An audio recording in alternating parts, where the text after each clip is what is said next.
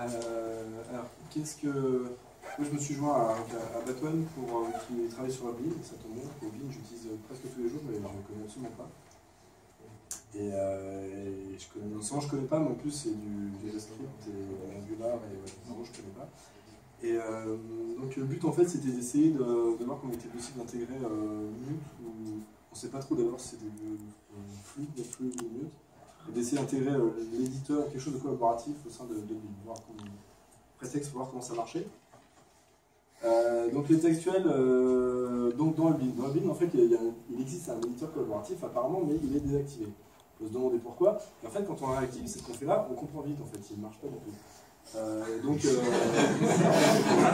forcément, euh, ça, pousse à, essayer d'investiguer pour en faire un autre. Donc là, on voit un exemple où on s'appelle, on tape comme des bourrins pour voir, et il y a des tonnes d'erreurs dans console log, parce qu'il y a déjà des conflits à deux utilisateurs, hein, 15. donc voilà, c'est une constatation, en fait on ne sait pas la raison était débile, hein, on est en train d'investiguer. L'éditeur qui est utilisé, c'est un éditeur par contre plus ou moins s'appelle QuickJS, que je connais pas du tout, qui permet vraiment de faire du formatage du texte, ce qui est plutôt pratique. Euh, donc voilà pour l'état actuel. Ce qu'on, on, a, commencé du coup par réactiver cette euh, petite collaboration. Donc déjà chercher ça, c'est bête. En soi, quand on ne connaît pas, ça prend du temps pour euh, voir ce qui existe à l'état actuel. Euh, le but en fait c'est d'essayer d'intégrer mieux, donc de découvrir un peu ce que c'est, et c'est ce qu'on a fait, donc je vous slide de ce qui a déjà été montré. Euh, là c'est ce qu'on appelle le Vue démo, c'est un, client de démo pour, euh, montrer ce que c'est faire Vue, qui se compose à la fois d'une partie back-end et à la fois d'une partie cliente en JavaScript.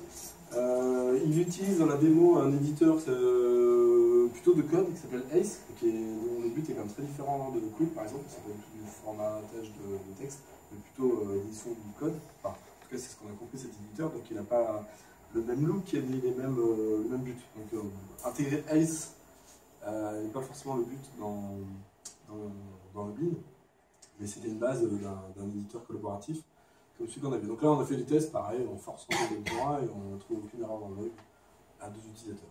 voilà, donc, ouais, donc on a, je ne reviendrai pas dessus, il a déjà été introduit, puis je pense qu'on va en reparler cette semaine. Euh, le bilan, parce qu'il faut faire bilans.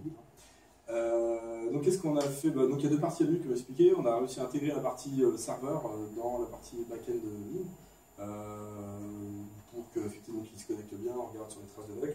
En revanche, l'intégration du client est un peu plus compliquée pour différentes raisons, notamment parce que ce client est enfin c'était le client c'était une lib, enfin c'est une API je crois, et qui est développée dans le Farmis Node et on voulait l'intégrer dans du en web. Et donc on a galéré un petit moment pour euh, le faire, sachant que j'ai aucune compétence en Angular, et donc euh, intégrer un, un sort partie à l'intérieur de toute la, la de modules.